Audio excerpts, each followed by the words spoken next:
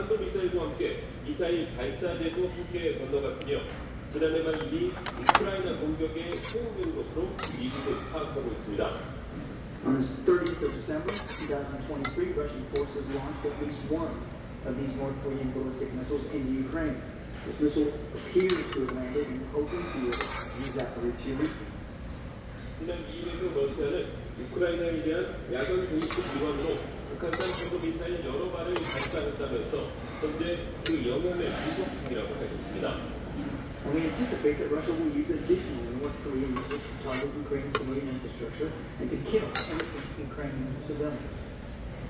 미국은 북한산 탄도미사일 사거리는 약 900km에 달한다고 설명하면서 러시아가 발사한 미사일의 탄착 지점을 표시한 자료도 공개했습니다. 북한이 미사일 지원 대가로 전투기와 지대공 미사일, 장갑차, 첨단 기술 등을 갖기 원하고 있는 것으로